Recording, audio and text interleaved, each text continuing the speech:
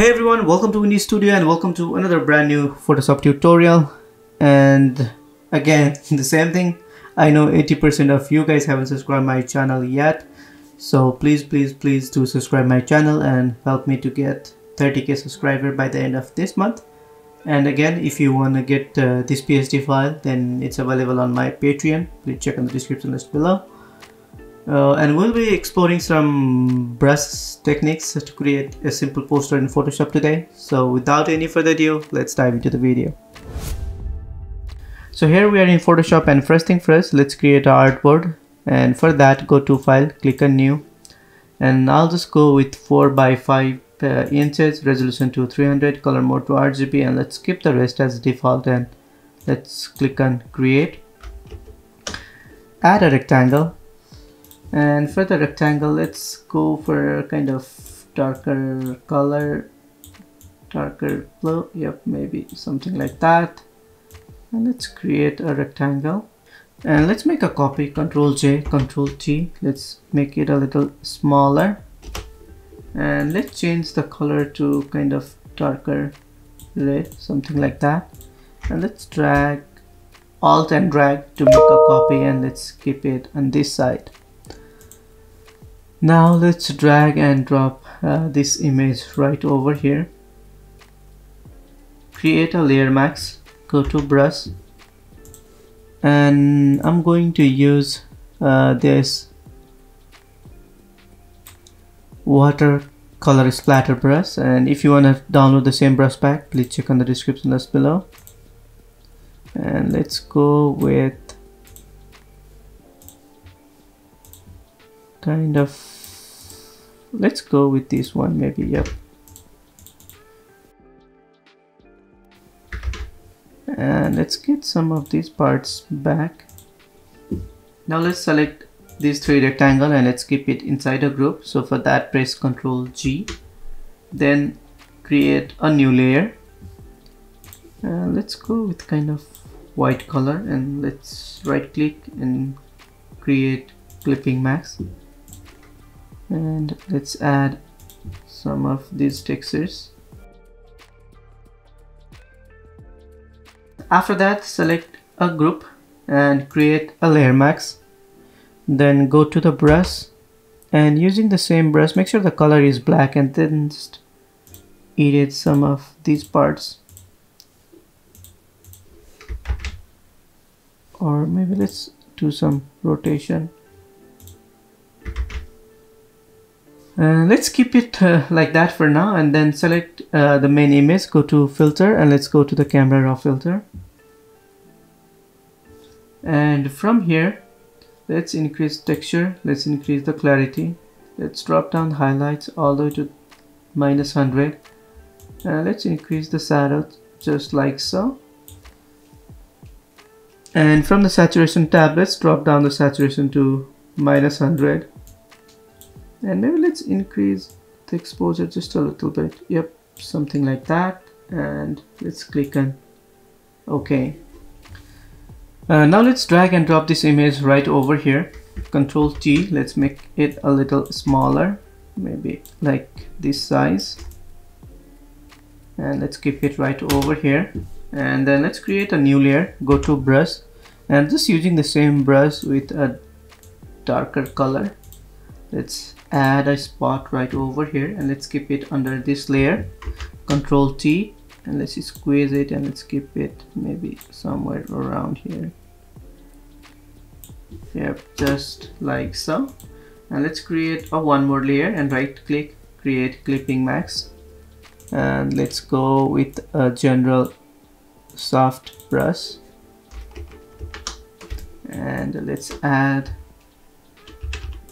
kind of shadows right over here. Let's keep it like that for now and let's select this layer go to filter let's apply a camera raw filter. You know let's go to the sketch tab and let's apply a halftone pattern. And maybe increase the size yep maybe around I think two looks good to me and let's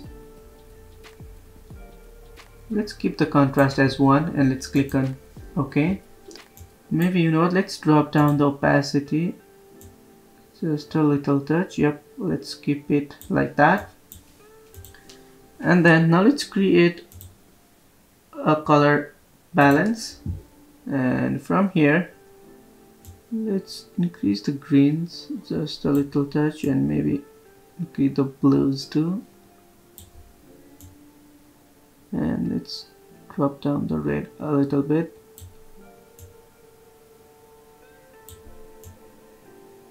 Yep let's keep it like that and let's add a curve.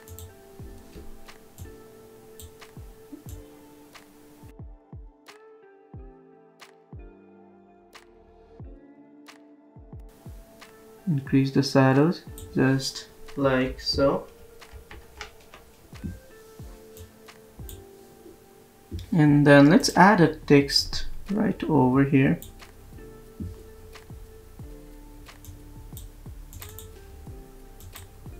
Uh, let's change the font to this one and let's change it to white.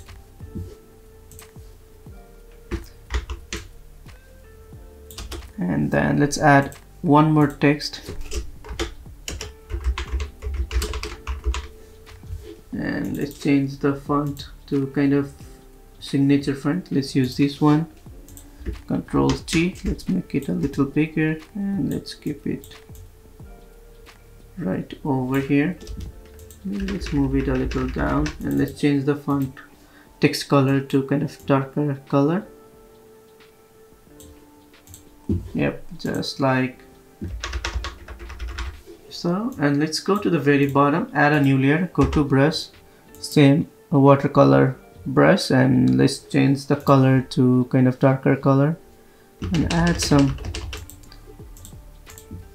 patches just to give a texture and let's drop down the opacity maybe right around here.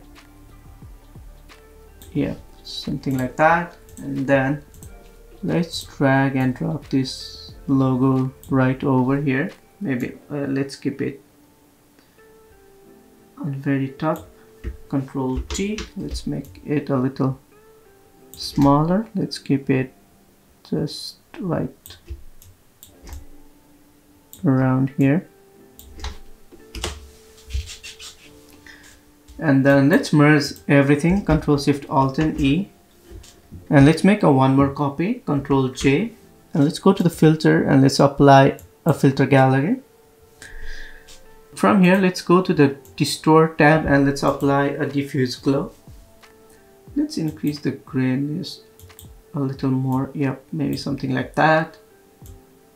And maybe glow amount to like that. And let's create a layer mask let's fill it with black. So for that press alt and backspace.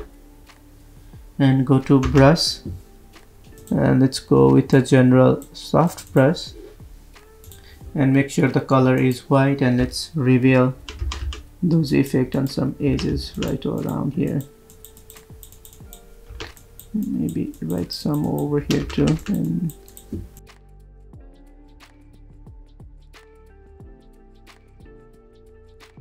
so let's give a final touch up. So add this paper texture and let's keep it all the way to the top let's change it to multiply control T let's make it smaller So this is the final and I hope you guys learned something new from this tutorial and see you guys in the next video. Bye bye.